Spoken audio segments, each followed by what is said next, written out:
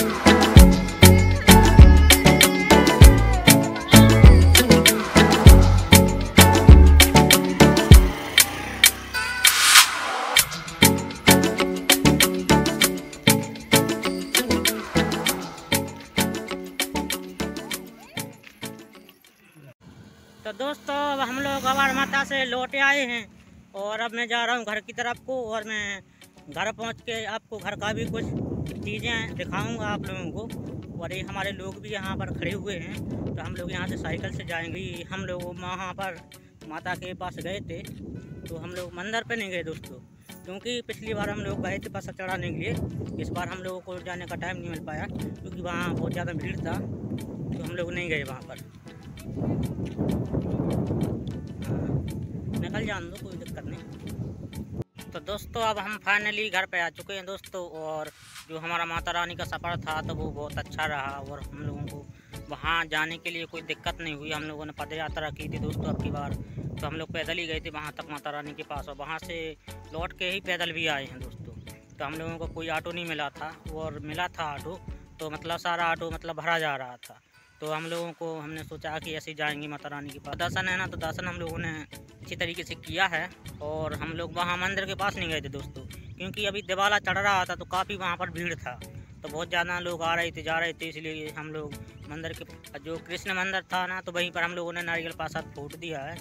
और जो वहाँ दिवाला निकल रहा था तो कितना अच्छा लग रहा था। और वहाँ का हम लोगों ने शॉपिंग भी किया कुछ चीज़ें। तो आप लोगों को इसी वीडियो से मिल जाएँगे दोस्तों देख सकते हो उसमें हम लोग कहाँ कहाँ से कितना शॉपिंग किया है और क्या क्या किया। आने जाने का सफ़र कैसा रहा था, ये सारी चीज़ें आपको इसी वीडियो में अवेलेबल हैं दोस्तों, देख सकते हैं। और मैं अभी खेत पर आया था दोस्तों तो ये देखिए आप लोग, इस तरफ़ का जो खेत आप लोगों को दिख रहा होगा तो ये अभी खेत जुत गया है दोस्तों तो इसमें काफ़ी सारा जो जुंडी है ना तो जुंडी था तो जुंडी हम लोगों ने निकाल लिया उसमें से। और जो खेत है तो अभी ऐसे ही डला है हमारा और अभी फ़िलहाल में ऐसे डला रहेगा। कुछ दिनों तक, फिर इसमें जो गेहूँ है ना तो गेहूँ इसमें हम लोग बोएँगे। तो अभी थोड़ा टाइम है, क्योंकि अभी पानी का दिक्कत चल रहा है दोस्तों तो इसलिए हमारे पापा लोगों ने इसको अभी बोया नहीं है। और जो पानी है ना तो हमारा यहाँ नहर है तो नहर का पानी आता है दोस्तों हमारे खेतों में। तो अभी जब पानी आ जाएगा तो हम लोग इसको बेंगे अभी इसका जुताई करवा लिया है, और मैं आप लोगों को जब यहाँ हमारा खेती चालू हो जाएगा ना गेहूँ का। तो आप लोगों को वीडियोस बना के डालेंगे कि किस प्रकार का हमारे यहाँ गेहूँ का खेती होता है और किस प्रकार हम लोग उसको बोएँगे और उसमें दवाइयाँ डालेंगे किस प्रकार की।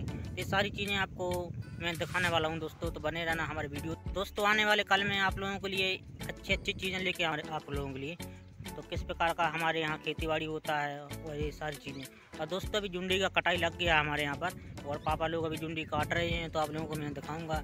जुंडी सारा काट के इकट्ठा रख लिया है यहाँ पर तो वहाँ रखा भी है कुछ जुंडी अभी यहाँ पर खड़ा भी है। तो जो जुंडी का जो भुंटा होता है ना तो भुंटे को काट लिया है, और बाकी का झुंडी जो अभी यहाँ पर खड़ा हुआ है तो उसको बाद में काटेंगे, क्योंकि अभी जो पक्षी आ रहे हैं तो पक्षियों की वजह से जुंडी को काटा जा रहा है दोस्तों, क्योंकि हमारा जो नुकसान है तो काफ़ी नुकसान हो चुका है यहाँ पर, और नुकसान की वजह से हम लोगों को बहुत घाटा भी हो चुका है जुंडी का। तो इसको जो हमारा जुंडी पक गया है ना, उसको काट लेंगे, और जो अभी पका नहीं है तो उसको अभी नहीं काटेंगे दोस्तों। तो आप लोग हमारे जुंडी को भी देख लीजिएगा, मैंने काफ़ी सारा वीडियोस भी डाल चुका हूँ दोस्तों, पहले भी मैंने डाला है, अभी भी मैं अपलोड करता रहता हूँ बार बार मतलब यहाँ खेतों का, क्योंकि अभी मेरे पास टाइम नहीं मिलता है, मैंने घूमने के लिए तो जैसे आज मैं माता रानी के पास गया तो दोस्तों देखिए, जुंडी का हमारा कटाई चल गया है और यहाँ जुंडी कट के मतलब ये खट्टा कर लिया हम लोगों ने। जो भुंटे यहाँ दिख रहे होंगे आप लोगों के लिए तो भुंटा भुंटा हम लोगों ने काट लिया है। बाकी का जो पौधा है ना, वो खड़ा है यहाँ पर। और मैं आप लोगों को दिखाने वाला हूँ, वहाँ रखा भी है।